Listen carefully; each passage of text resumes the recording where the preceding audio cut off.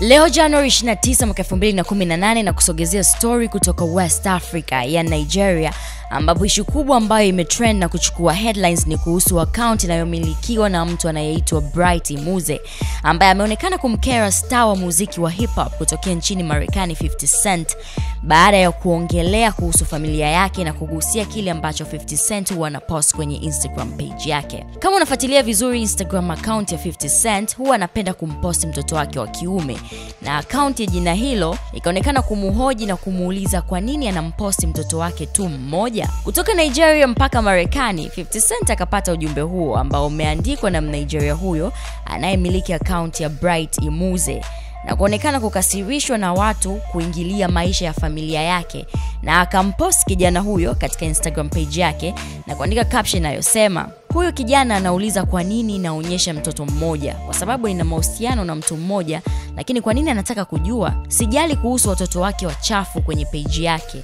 Alafu akamaliza kwa kumwambia tafadhali kaa mbali na maisha yangu. Baada ya caption na picha hiyo, mashabiki wengi kwenye comments wakadai kuwa 50 Cent anampa umaarufu tu. Je, wewe mtazamo wako ni upi? Unaweza ukadrop comment yako hapo chini.